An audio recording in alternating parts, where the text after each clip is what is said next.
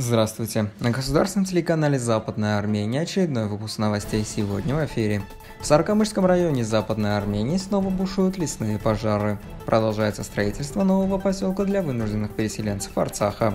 Трехдневная конференция Tech Week Армения пройдет в Арцахе. Известное имя нового президента Ирана. Засуха в Тигранакерте Западная Армения привела к обнулению производства меда. Армянское историко-культурное наследие представлено в разных городах Чехии. Поддержим государственное телевидение Западной Армении. Пожар вспыхнул в лесном покрове Сарагамышского района Карской области Западной Армении. Инцидент произошел на плато Шахитам недалеко от провинции. Хотя причина пожара пока неизвестна, первая реакция дошла до Карса с уведомлением окружающих жителей. На место происшествия прибыли пожарные машины и персонал из Карского лесничества пожарной службы и Шенкайского района Эрзурума. Экипаж примет все необходимые меры для предотвращения распространения огня. Засуха, зарегистрированная в этом году, также чревата риском пожаров, которые также вспыхнули в некоторых лесных районах западноармянских провинций Дерсим и Себастья.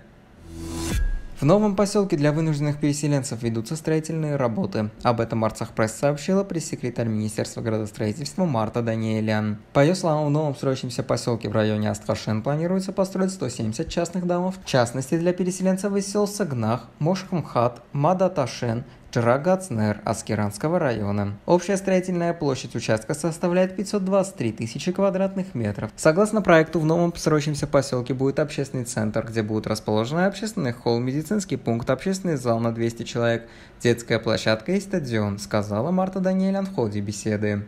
Новый район планируется ввести в эксплуатацию к концу 2022 года. Финансирование будет представлено всеармянским фондом «Аястан». Для участия в трехдневном мероприятии Tech предоставляется бесплатный транспорт. Об этом корреспондент Арцах Пресс сообщил ответственный за официальную страницу Tech Armenia в Facebook. Мероприятие пройдет в Большом и Малом залах Дворца культуры и молодежи Республики Арцах по адресу улицы Туманяна, 59, Степанакерт, Арцах. Трехдневное мероприятие Tech Week начинается 3 июля, начало в 14.00 и продолжается 4 июля в 10.00, 5 июля тоже в 10 утра. Вам нужно только заранее зарегистрироваться на сайте конференции. Есть бесплатные транспортные средства, чтобы добраться до Степанакерта и обратно из городов Аскеран, Мартакерт и Мартуни в Арцахе. Проживание и питание оплачивается участниками. Следует отметить, что Tech Week – это трехдневное мероприятие, которое объединяет основные мероприятия в области информационных технологий в Армении в одном месте. В этом году она состоится в Степанакерте. Основная цель мероприятия – сбалансированное постоянное развитие сообщества. По неофициальным результатам выборов в Иране консервативный кандидат глава судебной власти Ибрагим Раиси стал восьмым президентом страны. Действующий президент Хасан Рухани заявил о своем заявлении, что новоизбранный президент был избран народом, а сам он уйдет в отставку через 45 дней. Отмечается, что новый глава Ирана является возможным преемником верховного лидера Аятоллы Али Хаменеи. Рейс, который привлекает к себе внимание общественности, обещая развивать свою экономику и бороться с коррупцией, защищает жизнеспособную экономику. Рейс проиграл Хасану Рухани на выборах 2017 года. Из-за засухи производство меда в Тигранакерской провинции Западной Армении достигло нуля. Пчеловоды также пострадали от засухи в регионе. В Тигранакерте, где ежегодно производилось от 3,5 до 4 тысяч тонн меда, производство меда в этом году почти полностью упало из-за отсутствия отсадков и засыхания растений. Около тысячи производителей меда в регионе требуют поддержки отрасли.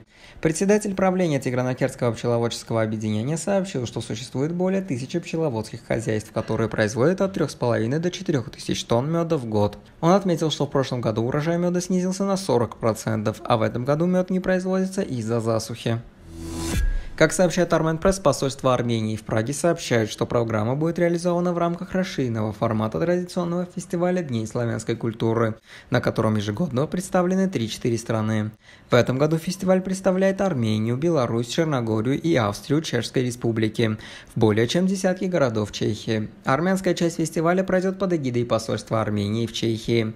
Она состоит из объектов всемирного наследия ЮНЕСКО, памятников и элементов нематериального культурного наследия человечества, а также передвижной выставки выдающихся армянских деятелей. Для получения дополнительной информации о программе заинтересованные лица могут перейти по следующей ссылке.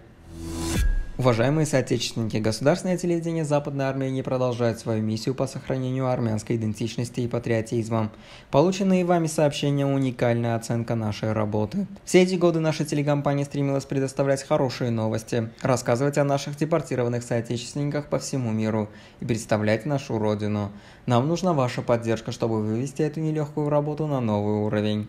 Государственное телевидение Западной Армении рядом с вами и продолжает быть неугомонным голосом нашей Родины. Вместе мы можем больше. Далее для вас сосна Церер Хойнар.